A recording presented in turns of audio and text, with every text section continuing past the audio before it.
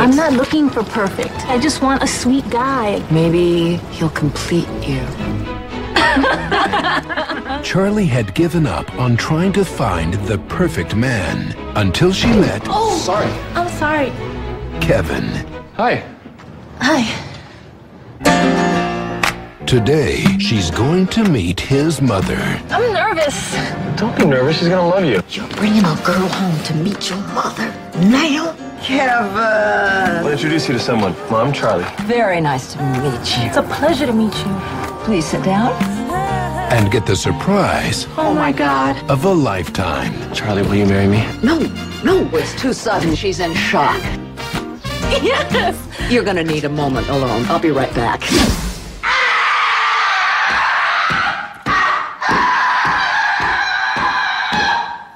I need something stronger than this. Maybe you should go check on your mother. Hail Mary, full of grace. No, no, she's fine. 10% alcohol.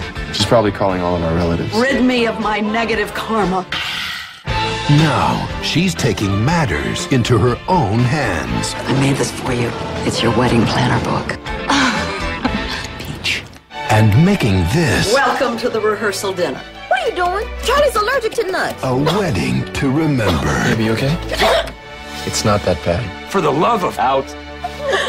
From the director of Legally Blonde It's Driving me insane. Has it ever occurred to you that maybe she's a good girl? Everybody's got a past. She's been investigating you. If I had a hair sample. Ow! Got it. The only way to deal is to fight fire with fire. Jennifer Lopez, I was thinking maybe the three of us could go to lunch tomorrow. What do you think?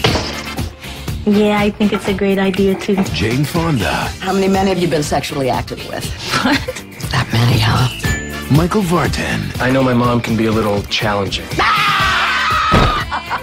and Wanda Sykes. I am sick, sick, sick of you.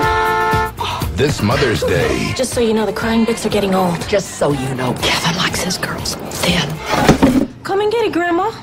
Monster in Law, What's going on here? Oh, I'm so happy for you.